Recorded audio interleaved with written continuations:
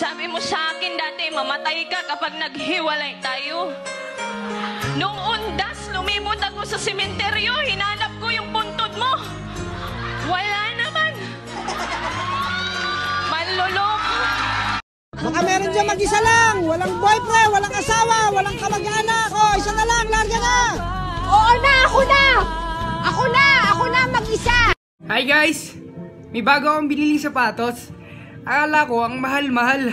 Yun pala mas mahal kita. Ako'y tinamaan, puso'y tinamaan Sadyang ikaw lang ang tanging dahilan Walang Nyam, nyam. Nyam, nyam! Nyam, nyam. Nyam, nyam!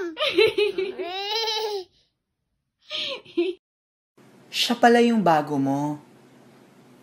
Bakit ganon? Mukhang luma.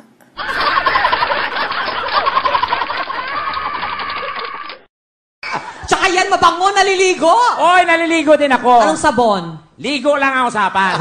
Pagligo, ligo lang. Ligo now, sabon later. Sabi mo past participle. Ano yung past? Ano yung, hindi, yung participle muna, ano yon? Alam ko yon. Ano yung participle? At alam ng mga tao. Ano yung participle? Si Paul, nag-party.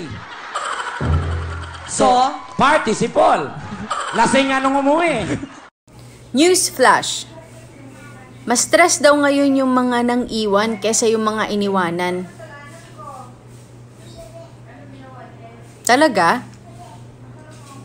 Hmm, buti nga sa'yo. Ang mga pangit, pwede pang gumanda. Ang mga matataba, pwede pang pumayat. Ang mga payat, pwede pang tumaba. Pero yung pangit na ugali mo, sis, wala nang lunas dyan. Natatandaan kita Hala, hindi ako nagnakaw ng cellphone mo. Nakakatawa yun.